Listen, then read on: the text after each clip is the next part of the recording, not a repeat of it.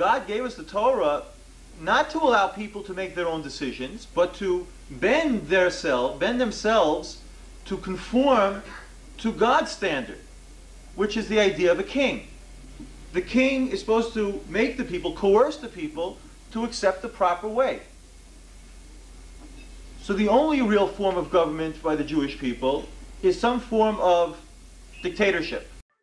In a Jewish system, a Jewish government, there has to be a very strong police force to enforce the the the, the decrees and the and the rulings of the of this of the Sanhedrin, the Jewish court, which means that we're talking here, as Rabbi Kahana points out, of what people would call today religious coercion.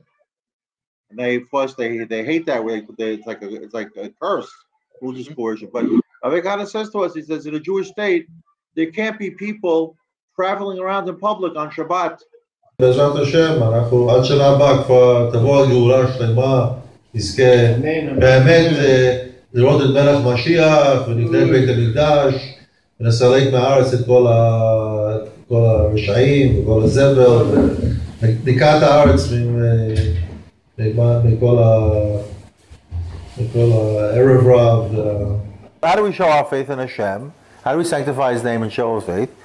Begirush Aravim, expelling the Arabs. V'tihor Harabayit, removing the mosques from the Temple Mount. Right? Uh, If you really believe in Hashem, that's what you have to do.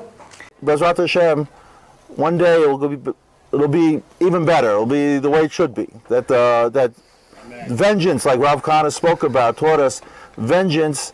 There's no end to it. It's the it's Hashem's way of vengeance, and everything. I think Shmulik uh, said uh, before when we were up in the in the park. Everything's written down. Everything's remembered. Payback time will come. Bezrat Hashem. Bezrat Hashem. At one some point in time, the Jewish people will finally wake up and realize there's only one solution. It's it's war. War is the way to redemption, and it says Hashem ish milchama. Hashem. That's that's the way Hashem in this world.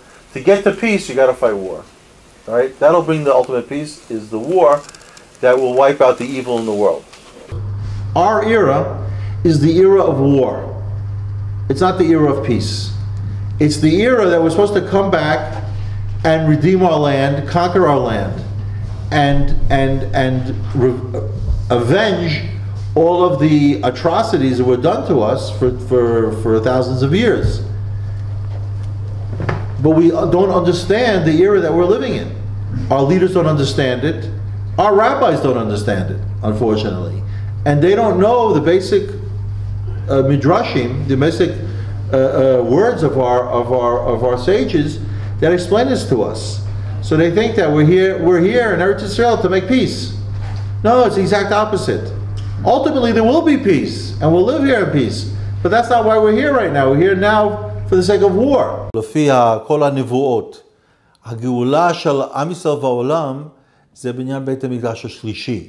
עכשיו בית המקדש השלישי זה דבר שיכול לאחד את כל העולם ולהביא שלום לעולם, אבל זה, יעב, זה יקרה רק אחרי שהקדוש ברוך הוא ישפוט את העולם. הרי זה, זה, זה הנקודה שאנחנו, עוד נקודה שאנחנו מתעלמים ממנה, שכתוב בכל כל הנבואות, יש איזה משפט כזה שהקדוש ברוך הוא יעשה לעולם. ו... והעולם חייב להישפט על מה שנעשה פה במשך אלפי שנים. לא, לא, לא יקרה מצב שעם ישראל סבל כל כך הרבה עינויים ו- ו- ומכות ושואה ו- ו- ואינקוויזיציות ו- ורדיפות, והעולם לא ישלם על זה, חייב להיות משפט. זה חלק מהתהליך. אז אי אפשר, אי אפשר לקרוא את, הנביא, את הנבואות שמאוד יפות ולהתעלם מהנבואות הקשות, כי זה חייב לקרות, וזה גם חלק, הרי הר הבית הוא לא רק מקום של פולחן ל, ל, אה, של עבודת הכהנים וכל השמחה שהייתה שם, זה גם מקום המשפט, המשפט האמיתי, לא, לא בג"ץ ולא כל המשפט המעוות של מדינת ישראל. אנחנו כל הזמן מדברים על הערבים ועל האויבים, אבל האויב הכי גדול שלנו, אין ספק, זה, היו- זה היהודים שלנו. אלה שיושבים בבתי משפט, אלה שיושבים בשלטון, אלה שיושבים במערכות של המדינה ועושים מעשה בגידה ולא קורה להם כלום, שום דבר. מדינה נורמלית, עם נורמלי, האנשים האלה היו תולים אותם בכיכר אה, מלכי ישראל. אני, שינו את זה, אני לא, לא זוכר את השם. זה היה פעם כיכר מלכי ישראל. שם זה מקום מצוין לתלות את כל הבוגדים האלה. וזה היה משנה את כל התמונה.